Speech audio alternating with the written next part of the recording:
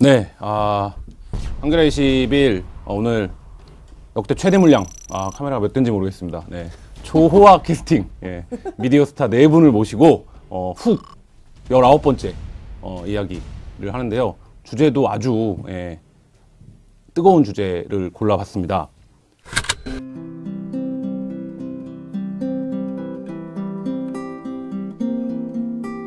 어, 네 분의 어, 게스트를 모셨는데요. 어, 특별한 자격보다는 어, 남성과 여성을 모셨습니다.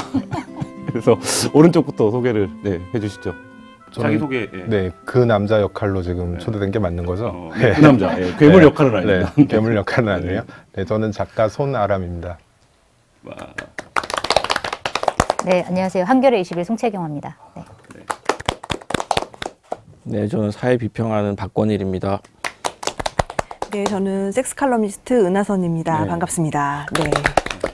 얼마 전까지 두 분이 지상파 방송 프로그램을 하셔갖고 역사 지상파 방송 네, 기분이 네, 좋으세요? EBS라고 말하면 안 되는 거예요? EBS라고 하면 안 돼요. 명예훼손당하니까? 까칠남녀라고 하면 안 되는 거야? EBS EBS라고 말하지 못하고 아, 그러게요. EBS 까칠남녀에 나오셨던 미디어 스타 두 분이 네, 가운데 앉아 있으니까 미디어 스타가 된 듯하고 좋네요. 오늘 뭐 좌담 주제는 미투인데 저희가 이제 사전에 말씀드렸던 것처럼 미투 그 자체를 뭐 해석하고 관찰하고 이런 것보다는 한국 사회의 남성을 중성 그리고 뭐 그런 남자들이 왜 그렇게 되는가 뭐 이런 얘기들로 좀 풀어 가 보려고 하는데 일단 그 남자들은 왜 그렇게 된 것 같은지 너무 포괄적이고 어려운 질문을 그냥 아무렇게나 막 하겠습니다. 소, 소, 손아람 작가님부터. 와, 너무 진짜 포괄적이고 네. 막 하는 질문 같네요.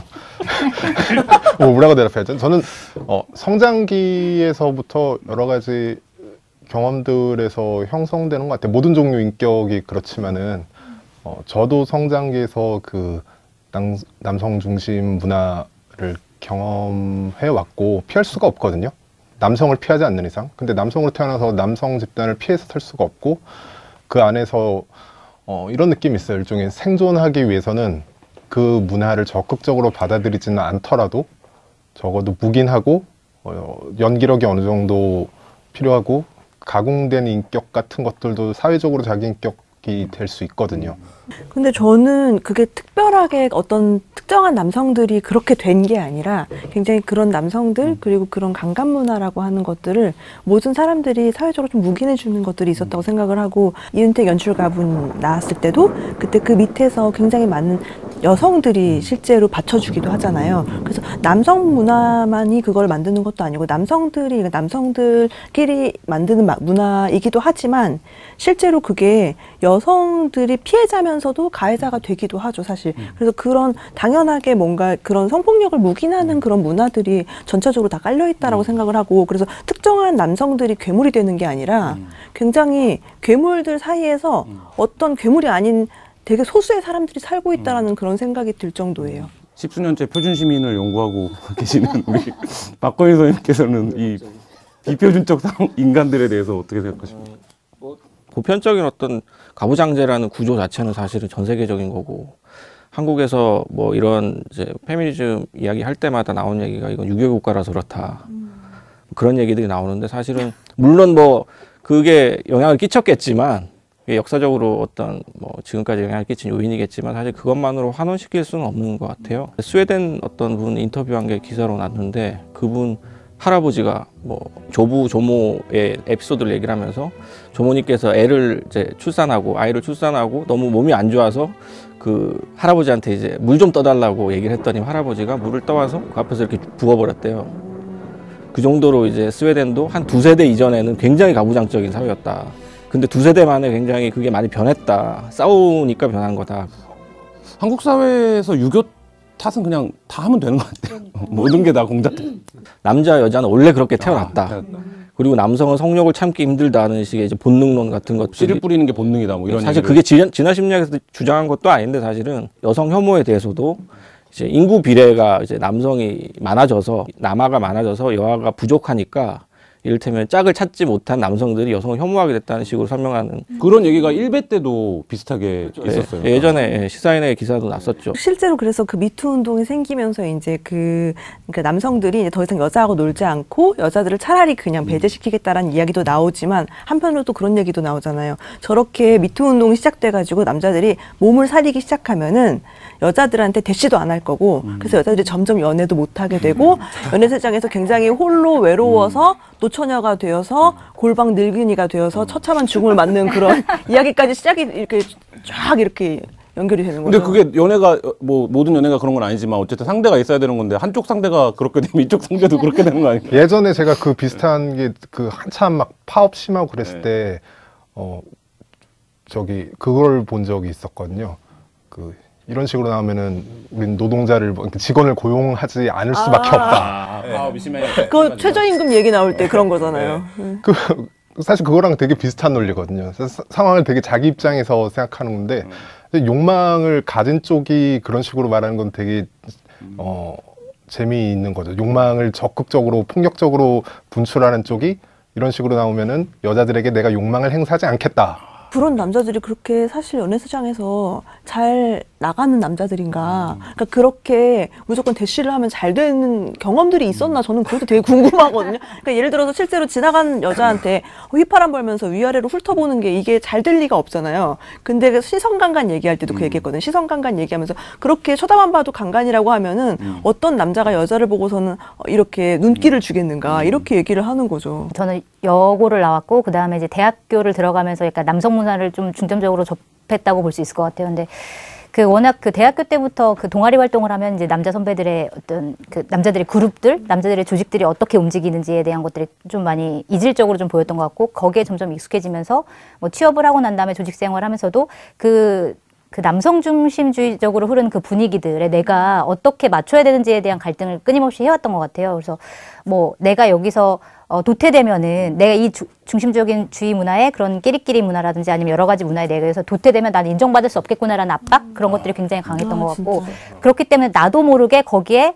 귀속돼서 나도 그들과 똑같이 남성적으로 행동하게 된다거나 좀 세게 나간다던가 막 술도 막 많이 마셔야 되고 그래야 나도 여기서 도태되지 않겠구나라는 생각들 그런 것들이 저도 모르게 저 안에서 작용한 게 아닌가라는 생각을 또 해보기도 해요. 사회에서 기자 사회가 특히 더 그럴 것 같은데 이제 유사 남성성을 강요하고 그렇지 않으면 너는 못 버틴다. 이게 그 너를 애정 해서 내가 사랑해서 해주는 충고다 이런 것들이 굉장히 횡해. 이게 근데 저는 그러니까 여자들도 분- 그렇기도 하고 굉장히 많은 경우 사실 남자들도 저는 그렇다고 생각하거든요. 아까 이제 처음에 얘기한 것 비슷하면 저도 그거를 많이 경험했어요.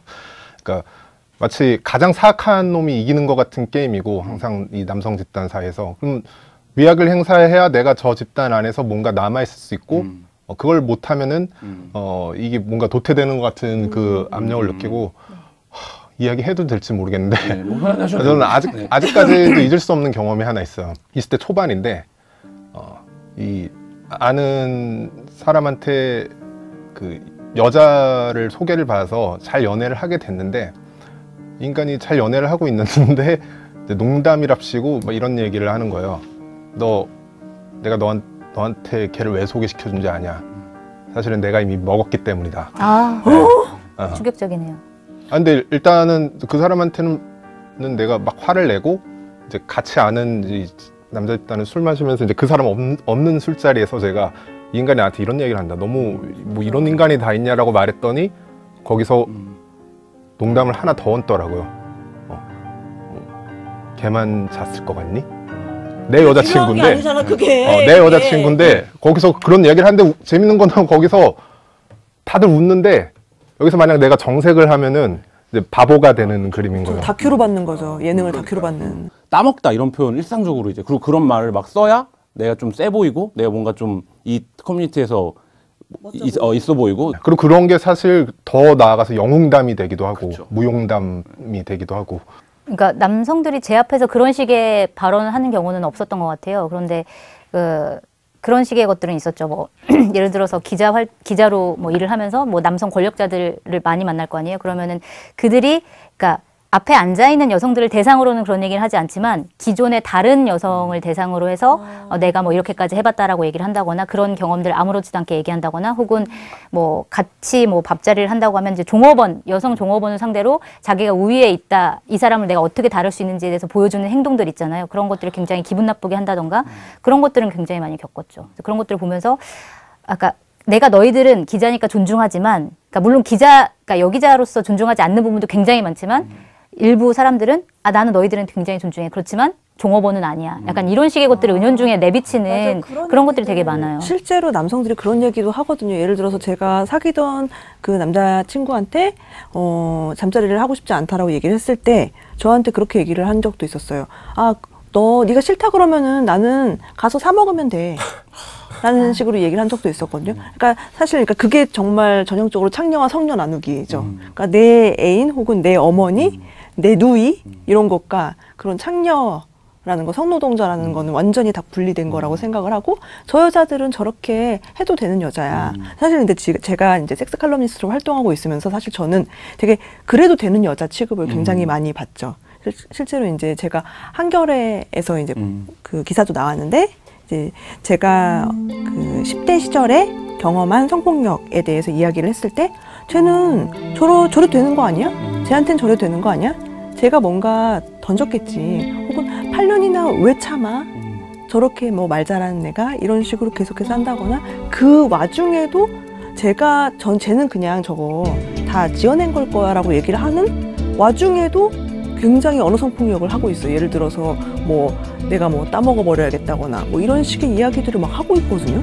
그런 거 보면 본인이 저한테 성폭력을 가하고 있으면서 제가 당한 성폭력을 믿지 않겠다라는 그런 되게 이상한 이중적인 잣대를 보이더라고요. 근데 저 되게 궁금한 게 남자들이 그런 여성에 대해서 내가 여성을 많이 바- 잡았다 내가 연애를 많이 해봤다 내가 여성을 어떻게 휘두를 수 있다라는 게 왜 자랑이 되는 건지 그 그그 논의 구조 자체 그 생각 인식 자체가 좀 이해 안 가는 부분이 있어요. 그게 자랑할 자랑할 부분인 건가요? 자랑할 게 없어서 그런 건가요? 저, 저한테 물어보신 것 같은데. 네, 대표에서 나오신 거 아니에요? 이건 우리가 대답해야 될 의무가 있는데 뭐- 뭘까요? 생각이 정리되셨나요? 아니요, 저는 그 예전에도 잘 이해가 안 됐었는데 예, 그런 그런 게 이해가 안 되면 이제 아싸가 되는 거죠 흔한 말로. 이제 거기 그 패거리의 어떤 문화, 안겨주죠. 예, 그런데 이제 호응을 하고 그런 언어를 같이 쓰고 하지 않으면 아웃사이더가 되는데 어, 그런 남성 연대 속에서 이제 일종의 위계 같은 것들은 거의 디폴트 값으로 존재를 하- 하고 있고 그리고 가장 낮은 그 집단 내부에서 가장 낮은 친구는 항상 여성의 역할이에요. 그- 그래서 그 친구는 항상 약하고 뭐 뭔가를 해도 서툴고 민폐를 끼치는 캐릭터는 뭐 이년아 저년아 이렇게 부르는 문화가 있고. 그래서 그런 아, 남성 연대 속에서 예, 여성화되는 남성들의 문제들도 사실은 그 남성 그 연대 속에서 이제 위계가 어떻게 작동하는지 성별화돼 작동, 작동하는지 보여주죠. 예전에도 그런 윤금이 사건이라고 음. 있었잖아요. 그때도 붙었던 게 정말 이 땅에서 나가라잖아요. 내 누이를 음, 네. 저렇게 훼손한.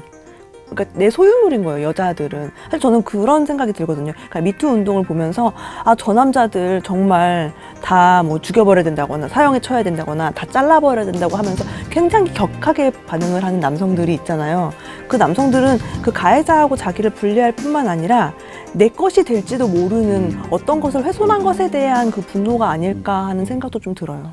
여성을 대상화하고 여성을 어떤 소유물 정도로 인식하고 그리고 그 경험을 무용담처럼 하면서 나의 남성성을 과시하고 이 경험이 가장 심화 발효 육성 숙성 되는 애 같은 군대를 아, 가잖아요. 그러니까 네. 거기는 이제 그야말로 다 남자만 있고 어 그거 말고는 사실 별로 과시할 게 없는 아, 문득 이 소유물 이야기 나오니까 최근에 그 널 가져서 미안하다 이 표현이 네. 떠오르네요. 아니 어, 안희정 안희정 안희정 했다는. 지- 저기 지사가 그 아, 성폭행한? 비서한테 했던 말이 JTBC 나와서 이제 그분이 폭로한 말 중에 널 가져서 미안하다 그랬다고 성폭행을 저지른 다음에 예. 그 표현 안에 이미 모든 게 함축돼 있다는 생각이 한국 드네요. 사 그러니까 한국 사회 남성의 어떤 mentality를 보여주는 문장. 굉장히 충격받으신 거. 아, 되게 충격적이네요. 제가 그걸 못 봤어요. 네. 너에게 무엇을 해서가 미안한 게 아니라 널 내 소유물로 만들어서 미안하다가 되는 거잖아요. 그걸 보고 네. 어떤 분이 그런 얘기 하더라고요. 이게 이제 기문스러운 문장이잖아요. 그러니까 기문의 카레 노래를 보면 예를 들면 이순신이 이제 그관 관계를 이제 범할 때나 이러는 과정을 묘사하는 장면에서 보면 그런 어떤 그 비장함과 그러니까 그 어떤 소유가 그리고 자기가 어쨌든 이 외적과 싸우는데 채워지지 않는 어떤 결핍들을 그 특유의 마초성이 있죠. 네. 그, 그- 예, 문체도 느낌이 그렇고. 예. 일단은 자기가 위에 있다라는 걸 굉장히 생- 그 사람 생각하고 있긴 하네요. 그런 문장도 있잖아요. 뭐 괴념치 말거라. 뭐 개념침을 해보라. 조선시대 아 그러고 보니 네, 네. 조선시대 무사 같은 음. 동등한 존재라고 생각 자체를 안 하니까 어, 소유물을 할 수 있는 거죠. 대상화할 수 있는 거. 권력의 정점에 있는 남성이 자신을 이제 비서, 그러니까 뭐 그 안지사의 표현을 전 지사의 표현을 보면 뭐 너는 나의 거울이다 뭐 이런 표현도 있고 하, 하는데 뭐 그 부분 그래서 이제 그거를 갖고 비틀어서 김 새누리당 김성태 원- 새누리당 맞나요? 자유한국당이죠. 자유- 언제적 새누리당을 또 한나라당 갈까요? 한나라당 갑시다. 자유 네, 자유한국당 그뭐 운동권 특유의 문화다 이렇게 비꼬기도 했는데 그렇게 그렇게 생각하면은 어떻게 보면 한국 사회 전체가 운동권인가? 이렇게 다시 한번 물어볼 수 있겠고. 하, 참. 그러니까 지향하는 어떤 가치하고 그 가치를 지향하는 사람이 실제로 자신과 자신의 주변의 조직들을 운영하는 원리로서의 가치는 또 별개의 문제인 것 같고요. 아무리 뭐 인권을 얘기하고 뭐 그런 얘기를 하는 심지어 신부조차도 천주교의 신부조차도 어, 성폭력을 저지르잖아요. 근데 그렇게 윤리적으로 단련된 사람조차도 사실은 삶과 이념이 분리가 되는데 정치인들은 뭐 말할 것도 없다고 생각을 하고요. 그러니까 저는 이거 운동권 문화라고 말할 수는 없는 것 같아요. 말, 말씀하신 대로 뭐 운동권에서만 발견되는 게 아니라 사실 운동권에서 발견됐을 때 사람들이 더 쇼크를 바깥에선 받는 거거든요. 좀더 선의와 어, 정의의 관념에 가까이 있는 사람들에게조차 발견되기 때문에 그렇다면 다른 곳은 얼마나 썩었을까? 진보 쪽에서 계속 이런 그 문제들이 터지기 때문에 사람들이 이렇게 진보 분열이다 이런 얘기를 되게 많이 하는데 사실은 그거는 가해자의 잘못이지 뭐 그 미투를 그 확산시킨 사람이나 아니면은 뭐 피해자가 사실 진보를 분열시킨 건 전혀 아닌 문제인데 어쨌든 그 중에 궁금한 게 하나가 왜 자유한국당이나 아니면 보수 쪽에서 이런 폭로들은 나오지 않을까라는 부분에서 생각했을 때 저는 잘은 모르겠지만 일정 정도 이제 피해를 당한 여, 여성들의 입장에서 생각해 보면은 그나마 진보 쪽에서는 자기를 지지해 줄 만한 사람들이 있고 내가 이런 얘기를 했을 경우에 이제 자기에 동조해 줄 수 있는 사람이 되게 많은데 저쪽 같은 경우에는 철저히 자기 혼자 고립돼 있는 상황이지 않을까라는 생각이 들어요. 더 말하기 힘든 상황들. 박진 활동가도 페이스북에 비슷한 말씀하셨던 것 같아요. 그래서 아마 거기도 많을 텐데 그런 사람들이 용기 있게 얘기를 하지 못하는 거는 여기서 얘기를 해도 바로 그거를 매장 당하거나 아니면 지지 받을 받지 못한다는 걸 알기 때문에 어, 참고 있, 있을 것이다. 그 사람들이 얼마나 고통스럽겠느냐라고 하시더라고요. 근데 언제는 분열이 안 됐나 싶은 생각도 들어요. 예전에도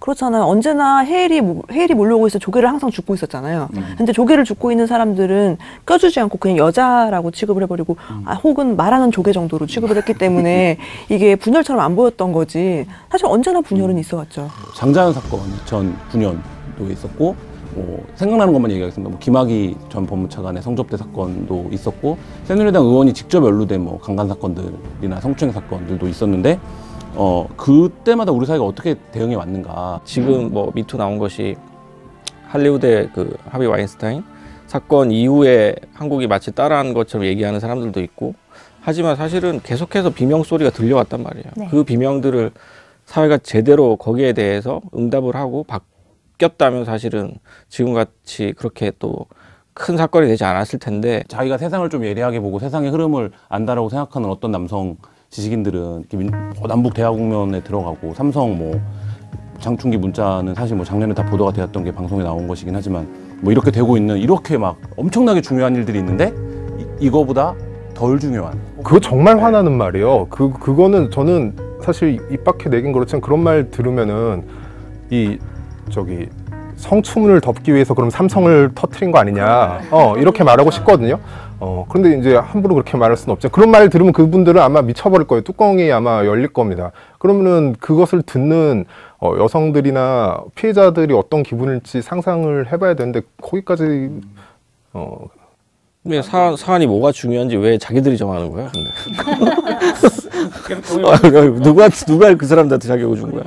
피해자들은 정말로 울분을 터트리고 이제까지 정말로 몇 년 동안 말을 못했던 것들을 정말 쌓이고 쌓이고 해서 정말 울분으로 터트리고 있는 상황인데 피해자들이 일부러 가만히 있다가 지금. 뭔가 미투 운동에 숟가락을 얹기 위해서 저렇게 나타나가지고 아, 역시 쟤는 관종이다. 이건 제가 들은 말입니다. 관종이다. 그리고 쟤는 가만히 있다가 또 숟가락을 얹냐. 근데 제가 굉장히 많이 말했거든요. 미투 운동을 누가 하는 건데 피해자가 숟가락을 얹는 거면 피해자가 숟가락을 얹어. 아니, 지네 밥상으로 차려, 차려줘 봤어? 진짜 어이가 없어가지고. 그러니까 그게 극단적으로 한국 사회에서 이 문제를 바라보는 어떤 시각차들이 있는 것 같아요. 그러니까 예를 들면 남성들은 어 제가 이제 주변에서 보는 건 두 종류인 것 같아요. 그러니까 예를 들면 어 아예 이 문제는 언급을 안 하- 하지 않는 거지. 그러니까 언급을 하지 않음으로써 중간을 갈 수 있다 라고 생각하는 경우가 있고 그 다음에 자기가 여기랑 조금이라도 어떤 자기 마음속에 찜찜함이나 이런 게 있으면 되게 냉소적 관찰자 역할을 자임하는 거죠. 그래서 이것이 어, 무고일 수도 있다. 상황을 공평무사하게 앞뒷면을 다 봐야 된다. 뭐 이런 얘기들을 하면서 이제 자기는 냉정한 관찰자인 것처럼 그리고 서- 뭐 이런 태도들이 있는데 반대로 여성들은 어떤 상황 상황이 등장할 때마다 굉장히 자기가 이제 살아온 인생이나 이런 거에 견져서 이입을 해서 그 생각을 하는 것 같아요. 그래서 남성들은 가해자에 많이 이입을 하고 여성들은 이제 피해자 문제를 많이 보는 이 좀 시각차들이 근본적으로 좀 존재하는 것 같은데.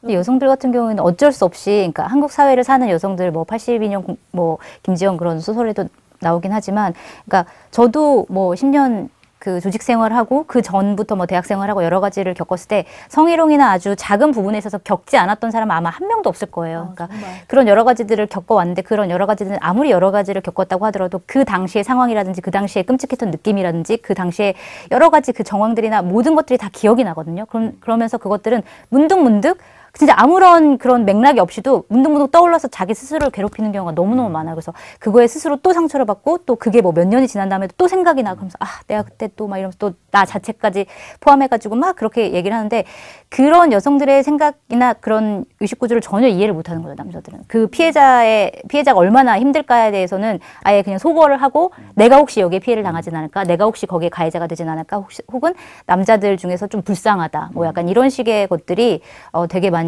지금은 감정적으로 있는 것 같아요. 좀 큰 것 같아요. 그 여자들은 아 나도 당했다고 나도 또 겪었던 일.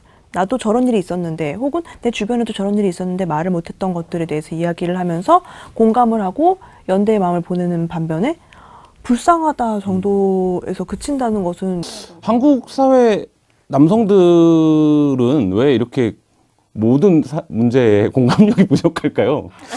아니 그 공감을 하는데 가해자한테 공감을 하는 거죠. 이를테면 가해자가 이제 뭐 뭐라고 올리면 네. 뭐냐면 피해자를 불쌍하다 여긴다는 게 아니라 가해자 어, 잘못 걸려서 불쌍하다 약간 심지어 그렇게 생각하는 경우도 있다는 거죠. 근데 피해자를 불쌍하다고 하는 태도도 저는 되게 한 축으로 느껴지거든요. 그것도 아까처럼 일종의 자기 소유물로 생각했을 때 나라면 잘해줄 텐데 뭐부터 시작해서 마치 우리가 동물농장 같은 거 봤을 때 학대당하는 개 보면은 분노하는 것처럼 음, 주인을 잘못 만나서. 어, 예, 바로 그거죠. 주인 잘못 만나서. 남자 잘못 만나서. 어, 남자 잘못 만나서. 근데 한국 사회에서 이런 소집단이나 지금 나오는 이제 미투 관련돼서 끔찍하게 괴물로 등장하는 남성들도 보면 자기 커뮤니티, 자기 그룹, 자기 지역에서 거의 왕처럼 군림을 해왔던 소왕국이죠. 네, 소왕국을.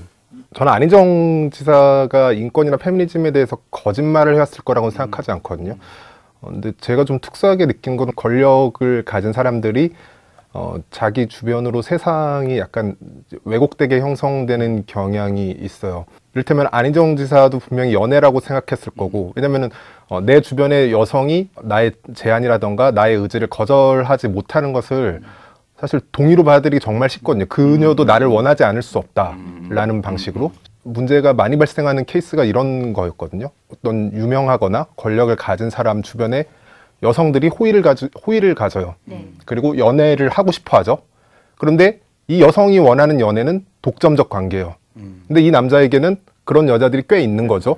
그러면은 이 사람은 너가 먼저 원했으니까 자기 일종의 자기가 그 소비재로 사용해도 된다는 동의로 그걸 이해하거든요. 그렇게 하고 관계가 시작됐는데 여성은 자기가 원한 관계가 아닌 거죠. 이 남자가 자기를 소비시키려고 한 걸 느끼는 순간 문제를 제기하면 네가 원한 거잖아. 동의했잖아. 뭐가 문제야? 음. 어, 그러니까 이런 방식으로 이렇게 자기 중심으로 이렇게 이해했을 때 어떤 권력장이라고 할까요? 그걸 못 보거든요. 그렇게 되면은 아주 추상적이고 관념적인 수준에서는 성평등, 인권, 페미니즘을 말했을 때도 나를 중심으로 생각했을 땐 분명히 저 여자가 먼저 원했는데 저 여자는 거부하지 않았는데 원하는 것 같았는데 이런 방식으로 해석하기가 좀 쉽다는 생각이 실제로 예. 그런 성폭력 사건에 있어서 들어가서 이제 그 재판 현장 같은 거 보잖아요. 그러면은 가해자에게 진심이 느껴져요. 음. 가해자에게도 진심이 있어요. 가해자는 자신이 가해를 했을 것이 아니라고 음. 정말 믿어 의심치 않아요. 정말 그런 것들이 있거든요. 근데 그게 진심이라고 받아들일 수는 없는 거잖아요. 그렇기 때문에 사실 진짜로 그런 권력 안에서 권력 구조 안에서 자기를 진짜 못 보고 그리고 그 모텔에 들어갔으면 무조건 동의라고 생각을 하는 이 한국 사회 에서 이 지구 사회에서 사람들이 본인이 가해를 했을 것이 전혀 아니라고 계속해서 본인을 변호하고 또 변호하고 나는 그런 적이 없어. 난 전혀 아니야. 저 여자가 이상한 여자야. 이렇게 계속 이야기를 하게 되고 실제 그런 얘기를 본인이 하지 않아도 주변에서 다 도와주면서 저 남자가 그랬을 리가 없어. 저 남자는 평소에 굉장히 좋은 사람이고 페미니즘 책도 많이 읽었고 굉장히 좋은 사람이었어라고 누군가가 계속 실드를 쳐주고 그 안에서 계속해서 그 피해자는 이렇게 바깥으로 밀려날 수밖에 없는 구조 같아요. 제 주변에서도 그 진보 진영에서 왜 이렇게 그런 일들이 지금까지 은폐돼 왔고 누구도 거기에 대해서 고발하지 않느냐라고 많이 물어봐요. 제가 대답하는 거는 이제 진보랑 보수랑 자기의 어떤 내부 부조리를 정당화하는 기제가 좀 다르다. 보수 같은 경우에는 아 세상이 다 그런 거지라고 얘기를 하는 반면에 진보 같은 경우에는 지금 저기 거학이 있는데 저 나쁜 새끼들이랑 싸우기 위해서 지금 우리가 힘을 합쳐야 되고 조직 보위에 네. 그런다 얘기. 그 조직 보호의 논리가 진보의 지금 전형적인 논리예요. 사실 운동권의 예전에 과거에 안 좋았던 측면이기도 했고 그래서 지금 우리가 자잘한 어떤 것들 뭐 이런 권위주의 문제라든지 뭐 성적인 추문이라고 표현을 하죠. 성폭력인데도 불구하고 성추문 이런 것들은 우리가 없는 셈 치고 가야 된다. 지금 우리가 지금 내부에서 흔들리면은 지 적들을 이길 수가 없다라는 식의 논리로 계속 끌고 가는 거죠. 근데 지금까지 계속 그런 식으로 굴러왔던 거예요, 사실은. 정치권도 마찬가지로. 조직 보위. 네. 그 저는 약간 이런 그 인식 구조도 있는 것 같아요. 남 권력을 가진 남자들이 갖고 있는 인식 구조 중에 아까 이제 손혜람 작가님은 뭐 여성들이 그 권위 어쨌든 누군가를 좋아하는 이제 연애 감정도 있을 수 있다고 생각하. 있을 수 있다 있는 거 아니냐라고 말씀하셨는데 물론 그런 경우도 있지만 보통 어떤 권위자를 바라보는 이제 여성들이 안희정 지사 같은 경우도 굉장히 훌륭한 정치인이잖아요. 그리고 뭐 어떤 학교 교수라든지 이런 사람들은 굉장히 뭐 연구를 훌륭하게 한 사람들도 있고 그런 사람들을 뭐 제자라든지 아니면 밑에 있는 사람들 봤을 때 굉장히 훌륭하고 존경할 만한 사람이란 말이에요. 그러면은 그걸 존경의 눈빛으로 바라봐요. 아 저 사람 되게 훌륭하고 어, 괜찮은 사람이다. 그러면 그걸 남자 권위자들이 받아들일 때는 자기를 좋아한다고 생각하는 거예요. 그러니까 그런 거에 대한 구분이 잘 안 되는 것 같다는 생각이 들어요. 그래서 아 쟤는 나를 존경하니까 내가 이렇게 해도 쟤는 좋아할 거야. 그러니까 이걸 성적인 부분과 일적인 부분은 전혀 다른 맥락임에도 불구하고 남자들이 아 쟤는 나를 존경하고 좋아 어떤 맥락에서 좋아하니까 성적인 부분도 좋아할 거라고 그게 사실 생각하는 아이돌 경우들. 팬덤 문화 안에서도 일어나는 성폭력 사건들이 그런 식이잖아요. 그러니까 쟤는 당연히 내 팬이고 너무나 좋아하고 그렇기 때문에 나에게도 이렇게 선물을 또 갖다 주고 우리 집 앞에서 이렇게 항상 기다리고 그렇기 때문에 내가 언제든지 자자고 하면은 당연히 오케이 할 거야. 내가 그랬을 때 쟤를 갖다 성폭력 저질렀을 리가 없잖아. 이렇게 이야기하는 부분들이 있는 아니, 거죠. 좀 층, 이건 제가 저기 좀 부연해야 될 것 같은데 이제 여러 층이가 있겠죠. 그런데 거기서는 이제 운동권이나 그런 데서 발생한 성폭력 중에 논란이 일게 된 성폭력 중에 유형 중에 하나가 그거였던 것 같아요. 음, 그러니까 어떤 권력 중심에 있는 사람이 어, 그러니까 동의하지 않는 마치 다자간 연애나 그러니까 남성 입장에서는 이거를 막 자꾸 캐주얼한 관계, 자기한테 이득이 되니까 캐주얼한 관계로 가져가려 그러면서 동의된 거 아니냐라고 이야기하는데 사실 아무도 동의하지 않는 그러니까 여성의 호의와 호의에서 발전할 수 있는 어느 정도의 그 성적 호감을 그 착취한다는 느낌을 굉장히 많이 받았거든요. 언어가 생략된 상태에서. 저는 근데 이번에 이렇게 뭔가 사람들이 되게 조- 많이 좋아했고 그리고 누가 보, 누가 봐도 되게 성공한 정치인이라고 보이는 사람의 이 성폭력 사건이 드러나면서 좀 이 얘기는 사라지지 않을까 싶어요. 꼭 성폭력에 대해서 얘기를 하거나 뭐 성추행 이런 얘기 하면은 쟤는 괜찮은 남자가 저러면은 성폭행 성폭행이 아니라고 할 거면서 꼭 자기가 마음에 안 드는 남자가 만지면은 그거 꼭 성추행이라고 하고 그런 얘기 하더라. 막 이런 식으로 하면서 비꼬았잖아요. 항상 너는 항상 뭐 다른 남자가 그랬으면 괜찮을 거면서 이 남자가 이러면 아니라고 하고 이 남자가 하면 저렇다 그러고 또 굉장히 이중적이다. 막 이런 얘기 했었는데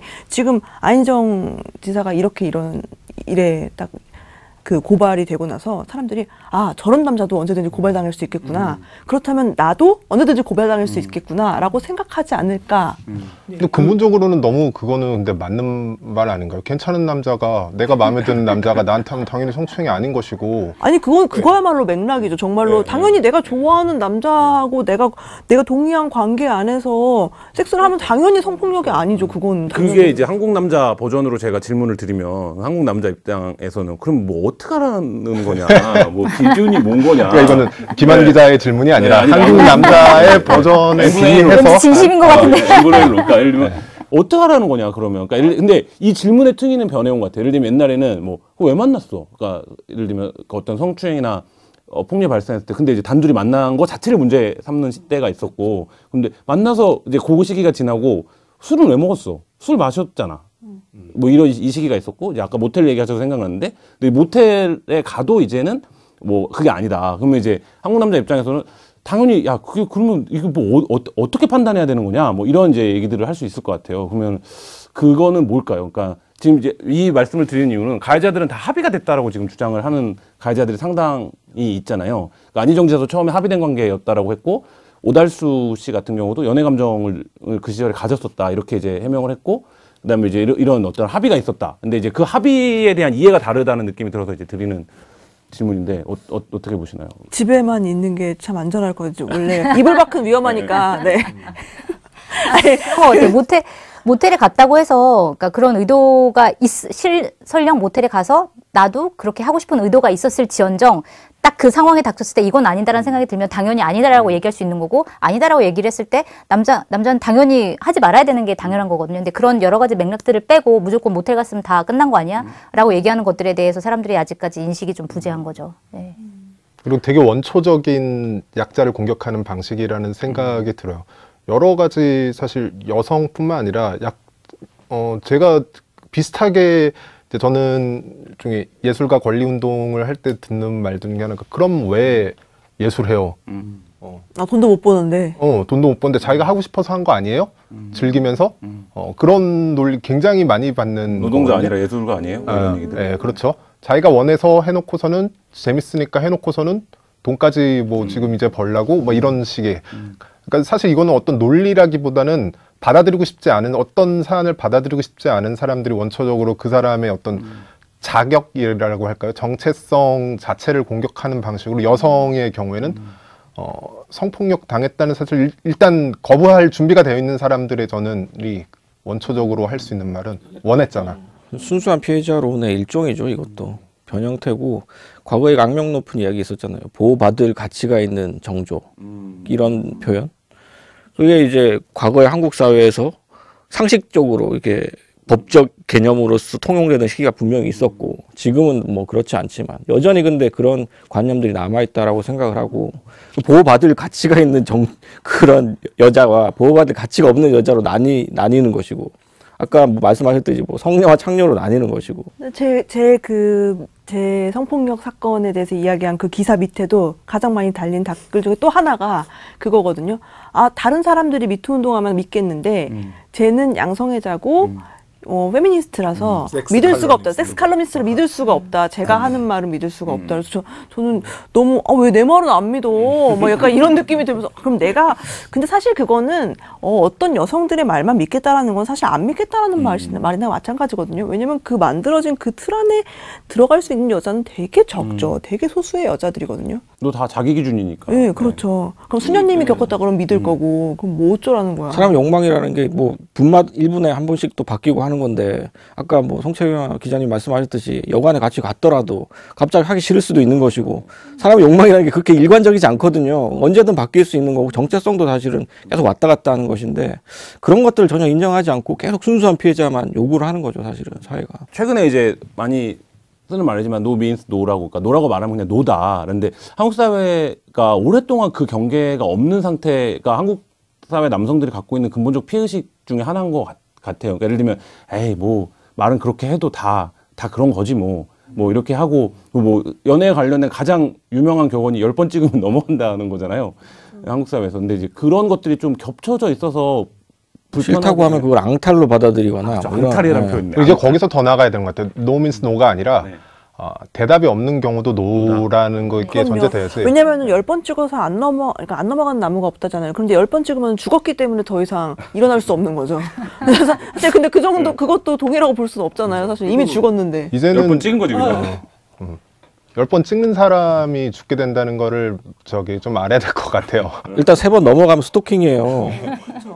그열 번씩 찍으면 진짜 그건 저희가 이 방송을 지금 오늘 녹화하고 있지만 이 방송이 나갈 때는 뭐 또 어떤 일들이 벌어질지 모를 정도로 굉장히 한국 사회에 만연해 있던 어떤 문제들이 드러나고 있는데 그럴수록 이 어떤 이 문제를 바라보는 시선도 좀 그- 이렇게 점점 갈리는 것 같아요. 그거를 한국 언론들은 전문 용어로 피로감이라고 쓰곤 하는데 예를 들면 뭐 개혁도 필요하다 그러고 좀 많이 하면 근데 이제 이 미투도 분명히 제가 볼 때는 어느 순간이 되면 이제 이 피로감과 관련된 얘기들이 나, 나올 것 같거든요. 이제 세월호 같은 경우에 이제 그만해라 이런 얘기 나왔던 것처럼. 피로감은 한국 언론에서 쓸 때는 이꼴 그만하자예요. 그러니까 그만하자. 근데 그 지금도 이제 벌써 그런 것들이 좀 있는 것 같아요. 그러니까 제 가정사 집을 얘기를 해보면 이제 아들만 키웠던 저희 어머니는 막 걱정을 해요. 이게 언- 어디까지 가는 거냐.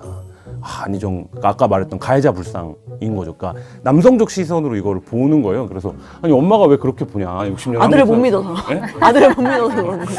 이게 있고 그 장모님 저희 장모님은 이제 저희 처갓집은 이제 딸만 있는데 거기는 아 이거 더 드러나야 된다. 옛날에는 막 의사들이 손도 주무르고 병원 가면 약국 가면 괜히 진맥한다고 그러고 손도 주무르고 막 그런 시대도 있었다.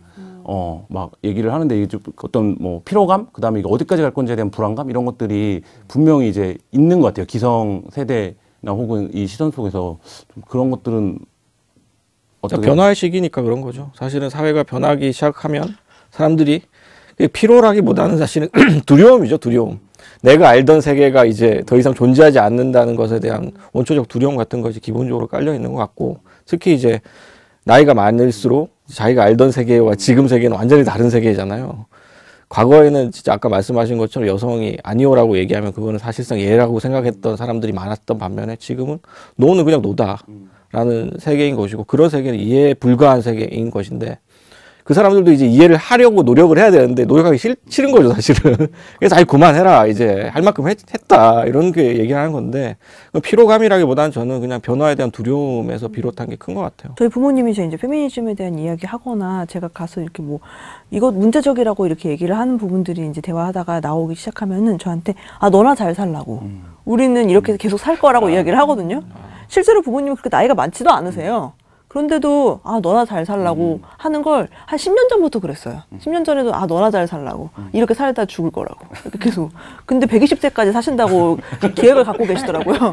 되게 열심히 운동도 하시고 맛있는 것도 항상 챙겨 드시고 이러는데 그러니까 한국 사회 남성들이 살아온 방식이 그건 것 같아요. 그러니까 지금 박건희 선생님이랑 은한 작가 얘기한 것처럼, 그러니까 그 적응하지 않는 거죠. 그러니까 어떤 문제가 발생하면 돌발적인 사건으로 그냥 소비해 버리고 그 적응하지 않고 또 그냥 원래대로 막 사는. 그러니까 뭐 국회 출입 송채경에서도 오래 했지만 국회 가면 진짜 별의별 음담 패설들 패설들을 막 하거든요. 의원이나 보좌관들이 남자만 있으면 또 더 하고 예막 진짜 차마 입에 담기 trash 예, talking 예. 글자 그대로. 하거든요. 그런데 이제 저도 이제 그래 아까 그런 면에서 보면 아 그럴 때 딱 해서 그 하지 말라고 해야 되는데 이제 그러면 이게 어떤 뭐 내가 이 그룹에서 그렇게 얘기를 하면 막 또라이가 되지 않을까? 뭐 이런 생각들 하고 넘기고 이러는. 그러니까 이 미투 운동 발생하고 나서 이렇게 기사 댓글 같은 것들 보면은 그런 것들 되게 많고 너도 조심해 막 이런 것들. 페이스북에 보면은 이제 그 태그할 수 있잖아요. 사람들 데려와서 너도 조심해 음. 막 이런 것들 올라오거든요. 근데 저는 방금 전에 말씀하신 그런 식의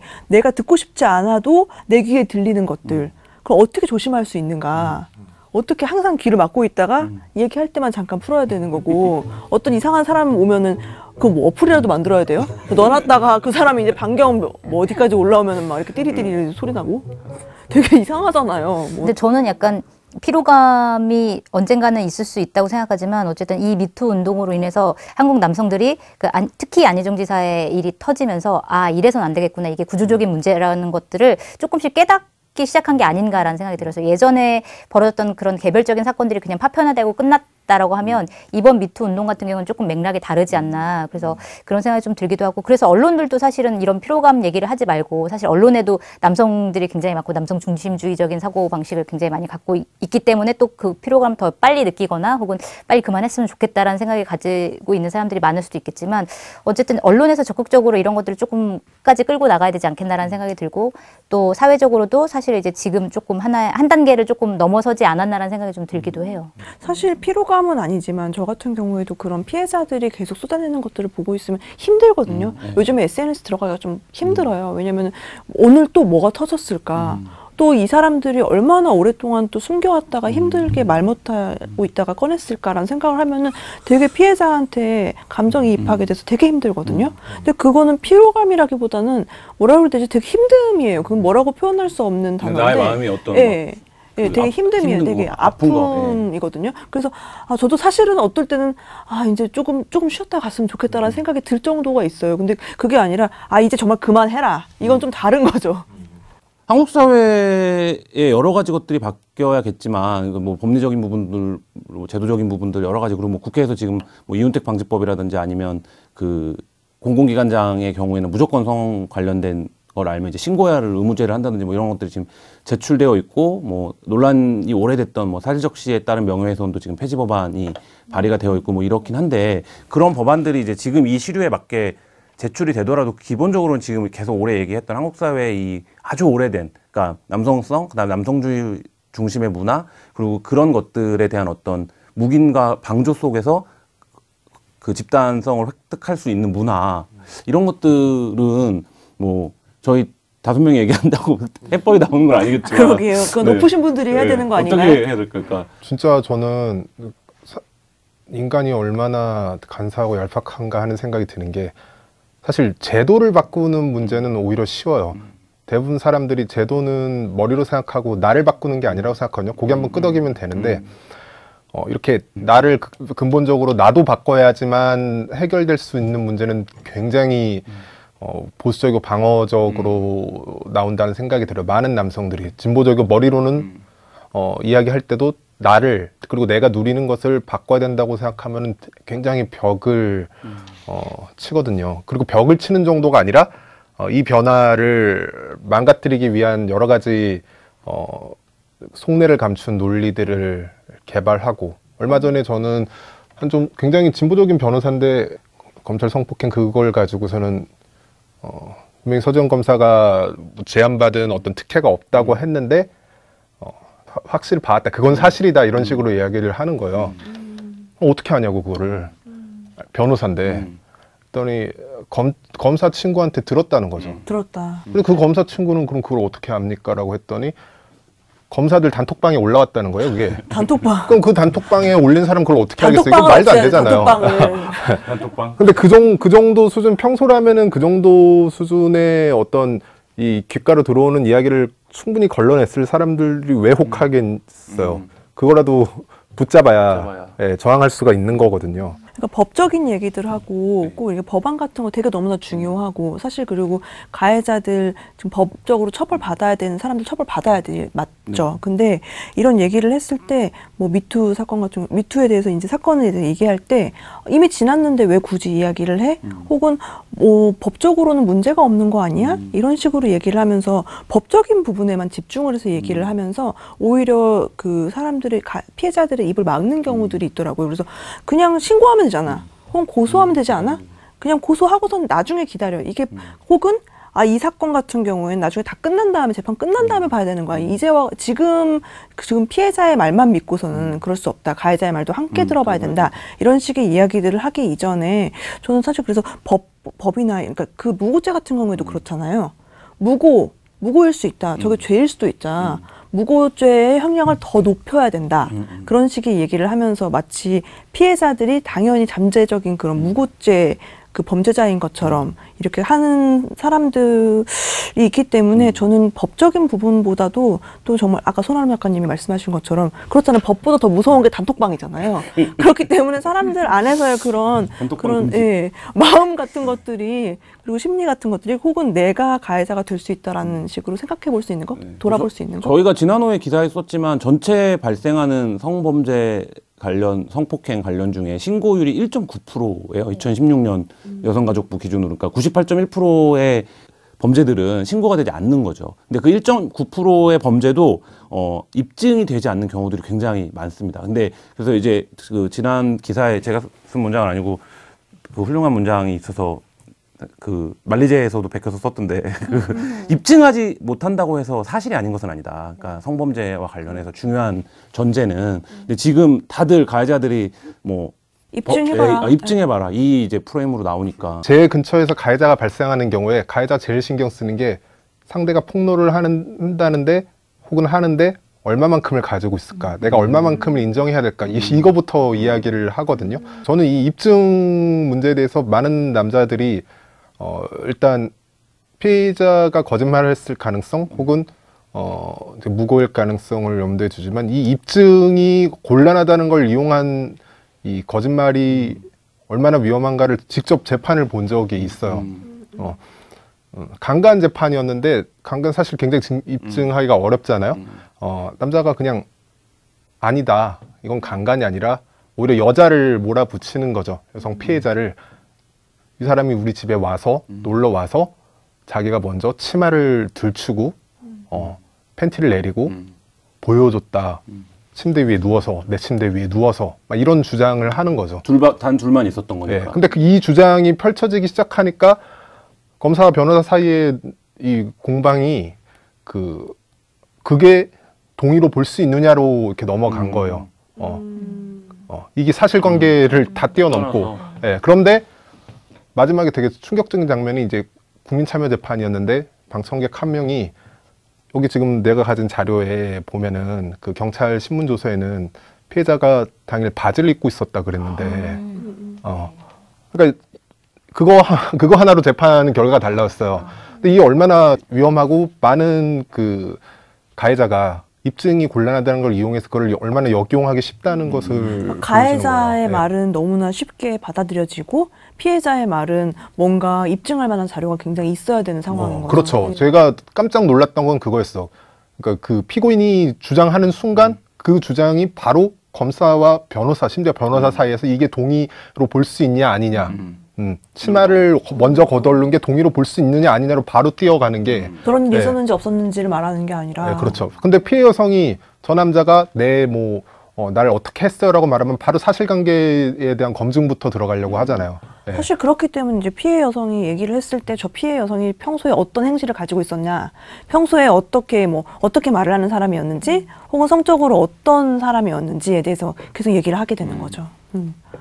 그래서 뭐 그 안희정 지사 사건도 그 다 다음에 전북도당 관계자가 뭐 그게 뭐 어떻게 성추행이냐 성상납이라고 봐야지 뭐 이런 이제 그 SNS에 글을 올렸다가 뭐 도, 당 차원 입장이 아니다 뭐 제명하고 이런 소동이 있었는데 그러니까 그게 한국 사회가 보는 어떤 또 시선이죠. 그러니까 그 권력강 위계에 의한 성폭행을 보는 근데 저는 법적 판단도 사실은 그 인간이 하는 것이고 그런 법적 판단에 사회적인 분위기가 굉장히 크게 영향을 미친다고 생각을 하거든요. 그 판사들이나 검사들이 판단하는 것에도 사실은 시대적인 어떤 흐름이라든지 분위기가 굉장히 결정적 영향을 끼치는 것이고 그래서 아까 말씀 잠깐 나왔던 강간 문화라고 우리가 부르는 것들이 사실 만연해 있다는 것들을 좀 어느 정도 우리가 합의를 할 필요가 있다. 이게 사회 문화적으로 사실 우리가 제도를 바꾸고 법을 바꾸고 하는 것도 중요하지만 그런 거 다 중요한데 사회 전체적으로 이제 강간 문화라고 불리는 것도 우리가 강간범이라고 얘기를 하면 보통 남자들은 그냥 길에서 지나가다가 복면 쓴 애가 갑자기 달려와가지고 사람을 강간을 해야지 그게 강간범이고 자기는 그, 그런 사람이 사람이 아니다. 아니니까. 예. 어, 난 전혀 다른 사람이고 그리고 난 이윤택. 어, 이윤택 같은 사람도 저런 예외적인 괴물하고 나는 다른 사람이다라고 얘기를 하거든요. 자기랑은 강간 문화랑은 전혀 관계가 없는 거죠, 사실은. 그렇지 않잖아요. 우리는 그런 강간 문화가 굉장히 자연스럽게 한국 사회에 배어 있는 사회고 크든 작든 간에 자기가 과거에 어떤 식으로든 강간 문화에 뭐 동조를 했던 실제로 그런 문화 속에서 뭔가를 저질렀던 했던 남자들이 대부분일 텐데 그런 것들에 대해서 제 자기 안에 있는 제가 예전에 얘기해서 욕을 많이 먹었지만 우리 안에 일배라고 얘기를 해서 자기 속에 있는 그런 강간 문화 같은 것들을 좀 성찰을 하고 그런 것들이 어떤 문제들을 결국 우리가 공모했는지 그런 것들을 좀 성찰을 하면서 그 문화적인 분위기, 사회 문화적인 분위기를 바꿔 나가는 게 굉장히 중요한 것 같아요. 근데 이제 문화적인 분위기를 바꿔 나가는 게 중요하고 남성들이 이제 그렇게 자기 스스로 바꿔야 되겠다고 생각하고 실제로 바꿔 나가야 하는데도 불구하고 사실 그렇게 나가기보다는 오히려 아까도 잠깐 얘기가 나오겠지만 여성을 배제하는 방식으로 나타나는 그 나타날 가능성에 대해서도 굉장히 좀 심각하게 우리가 봐야 될 것 같다는 생각이 들어요. 그러니까 여성이 불편해. 내가 여성을 어떻게 해야 될지 모르겠어. 그래서 막 왔다 갔다 하고 막 그 이거에 대해서 걱정하는 남자들이 아 그럼 우리 여자 여자랑 일하지 말자. 음, 여자랑 놀지 말자. 거죠. 뭐 기자를 뽑을 때도 아 여기자들 뭐 이렇게 말도 많고 불만도 많고 내가 여기자를 어떻게 대해야 할지 모르겠는데 그리고 취재원과의 관계도 되게 불편하잖아. 나한테 와서 취재원한테 이런 일을 당했는데요 하면은 또 일이 커지는 거니까 차라리 그러지 말고 남자 기자를 많이 뽑자라거나 약간 이런 일들이 벌어질 가능성이 굉장히 충분하거든요. 그러니까 이런 거에 대한 그 경각심을 좀 가져야 될 용어를 아예 언론이 쓰기 시작했어요. 펜술이라고 해서 미국의 이제 부통령이 그 부인이 없는 자리에서는 술도 마시지 않고 부인 말고는 이제 차에 태우지도 않고 뭐 이걸 해서 펜술이 있는데 한국 사회 남성들이 그 펜술을 치기 시작했다. 뭐 이런 보도들이 여성 배제죠. 여성 배제라고 불러야 돼요, 사실은. 그렇죠. 어제 제가 페이스북에 이제 한 정당의 이제 여성 보좌관이 딱 한마디를 썼는데 그게 되게 기억에 남더라고요. 이제 여성 보좌관은 못 보겠네. 예. 그런데 되게 슬펐던 건 아래 응원 댓글이 아니에요. 우리가 남성 정치인을 뽑지 않을 거요라고 하는데 이게 너무 좀 뭐랄까 여성 보좌관을 안 뽑겠다는 현실적으로 들리는데 남성 정치인을 안 뽑겠다는 거는 좀 현실적으로 들리지 않는 거죠. 예. 실무적으로는 그 약간 여성가족부 내에 이제 그 권익증진국이라는 데 산하에 권익정책국, 권익지원부과 뭐 이런 과들이 있는데 그 두 개 과가 사실은 성폭력 피해자들 지원하는 과거든요. 근데 보니까 제가 그 홈페이지에 들어가서 보니까 그 성폭력 피해자 지원 업무 외에도 한 50가지 정도의 업무들이 있어요. 가족부잖아요. 여성 가족부잖아요. 5만 가지 업무들 다 떠맡아서 하고 있는 과들이에요. 그러니까 사실은 성폭력 피해 지원에 대해서 사실은 예산이든 인력이든 간에 저는 완벽하게 얘기할 수 있는데 완전하게 얘기할 수 있는데 이거는 안 될 것이다 제대로. 이거는 될 수 있는 구조가 아니에요 사실은. 그래서 저는 왜 여성가족부에서 가족이 여성이 붙어야 되는지 솔직히 저는 이해가 잘 안 되고 그 성평등 에 대한 어떤 정책적인 예산 자체가 이제 배정이 잘 안 되는 걸로 알고 있는데 일단 지금 뭐 보니까 대구 지역 여성 단체에서 그 미투 관련해서 직접 지원하는 특위를 꾸렸다고 하더라고요. 그 여성 단체 협의회에서도 지금 꾸린다고 하고 실제로 지금 당장 그 지원을 받을 수 없는 피해자들 그리고 목소리를 내고 있는 그러니까 뭐 안희정 지사건 같은 경우에는 가해자가 워낙 유명한 사람이니까 좀 부각이 됐지만 사실 별로 사회적으로 유명하지 않은 인사들 같은 경우에는 더 피해가 큰데도 불구하고 혹은 더 정말 잔혹하게 당했는데 불구하고 제대로 알- 알려지지 않은 경우도 많단 말이에요. 사회적인 매장 자체가 불가능한 불가능하죠. 사람들. 예. 그런 사람들의 경우에는 정말로 조직적으로 지원, 지원을 해줘야 되고 법적으로나 사회적으로나 혹은 감정적으로나 연대를 해줘야 되는데 그런 어떤 기구들이 너무 부족하다는 거 이제 그런 부분들을 좀 보완을 이번 이번 기회에는 꼭 해야 되, 되겠다는 생각이 들어요. 그러니까 안희정 지사 같은 그런 약간 유명 인사 같은 경우에는 그러니까 사- 성폭력 사건이 일어났다고 했을 때 폭로가 되고 사람들이 막 더 커다랗게 반응을 하고 그래서 실제로 사회적으로 더 이상 뭐 그런 유명 인사가 더 이상 그 자리에 있을 수 없도록 만드는 부분들이 있잖아요. 요즘에 이제 목격이 조금씩 되고 있잖아요. 근데 그런 것들을 봤을 때 사람들이 이 피해 여성이 역시나 저 남자를 인생을 갖다 깔아뭉개고 저 남자를 망치기 위해서 이걸 갖다가 폭로한 거다라고 얘기가 나오거든요. 그렇게 됐을 때는 실제로 유명인이 가해자가 아닐 경우에는 망칠 수 없다라는 얘기가 돼버리거든요. 근데 사실 그 망치기 위해서가 아니라 얼마나 많은 일들이 있었고 우리의 입이 다물어졌어 다물어져 왔었는지를 얘기하는 거고 사실 그렇기 때문에 더 중요한 거는 피해 여성들이 가해자가 누군지와 관계없이 피해 여성들의 말이 들려지고 그 피해 여성들의 말이 믿어지고 그렇 그게 사실 중요하다고 저는 생각이 들어요. 그러니까 그게 지금 두 분이 말씀하신 말씀하시는 것들을 종합하면 지금 이제 이 미투 국면이 진행이 되면서 언론도 그렇고 이제 사람들도 아, 더 누가 더 센 가해자가 나 나올 거냐가 흡사 이 운동의 어떤 분위기나 방향을 결정하는 것처럼 그러다 보니까 사실 굉장히 좀 미시적인 구조 안에서 벌어지는 성추행이나 폭력들이 많잖아요. 그러니까 예를 들면 회사 뭐 말할 기업들이라든지 뭐 이런데 오히려 이제 더 일상적인 공간들이나 이런 데서 벌어지는 문제들은 안 나오고 지금 이제 안희정지 사건이 나오기 전부터도 계속 예고 기사로 뭐 여의도는 그럼 어떻게 되는 거냐 이런 기사들을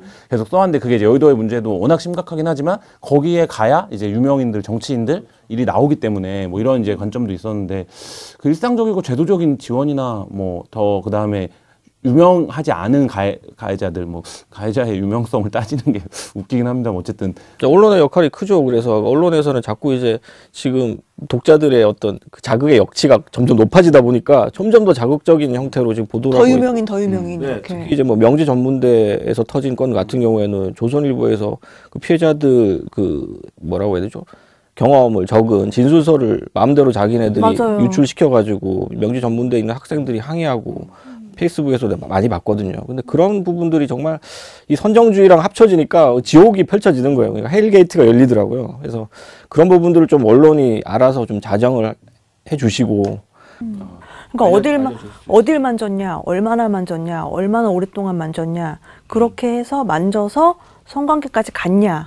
강간이냐 아니냐 여기에만 너무 집중해 있지 말고 실제로 이 성폭력 사건이 어떤 특정 괴물이 아니라 너무나 사회적으로 만연해, 만연해 있다라는 것 이걸 좀 더 많이 드러냈으면 좋겠어요. 실제로 여성들 같은 경우에는 아마 안지사 같은 사건이 터졌을 때 그거는 약간 좀 특별해 보이잖아요. 그게 아니라 특별하지 않은데 일상에서 벌어지는 일들에 대해서 만약에 기사화가 된다면 거기에 더 관심을 갖게 될 가능성도 크거든요. 만- 어 이거 내 얘긴데 이렇게 얘기를 하면서 그러니까 그런 것들도 꾸준히 좀 나왔으면 좋겠다는 생각이 드네요. 그러니까 그런 것 같아요. 예를 들면 우리가 의무 교육으로 받고 있는 그 직장 내 성희롱 예방 교육 같은 것들. 근데 거기에 나오는 사례들이 그대로 기업에 있는 경우들이 굉장히 많 있더라고요. 그러니까 뭐냐면 뭐 얼굴이 푸석푸석해 보여 넘어가야 되는데 그게 아니라 어 연애하더니 얼굴 잠도 안 자고 얼굴 푸석푸석해 이렇게 그냥 상사가 얘기하고 가는 거예요. 근데 이 상사는 아기가 없다라고 주장하는 거야. 그러니까 자기는 한평 아까 얘기한 나 나왔지만 한 평생 그러고 그냥 산 거예요. 아니 그러니까 왜 자기가 그렇게 아기가 없고 자기 그렇게 착하고 자기는 그렇게 도덕적으로 올바르고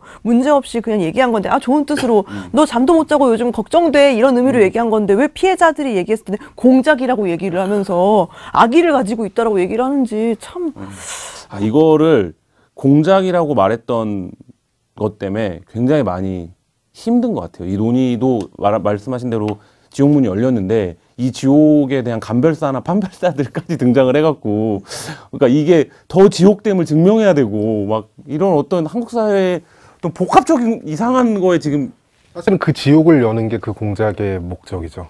예. 오히려 그래서 목적이 이루어졌죠. 아 답답합니다.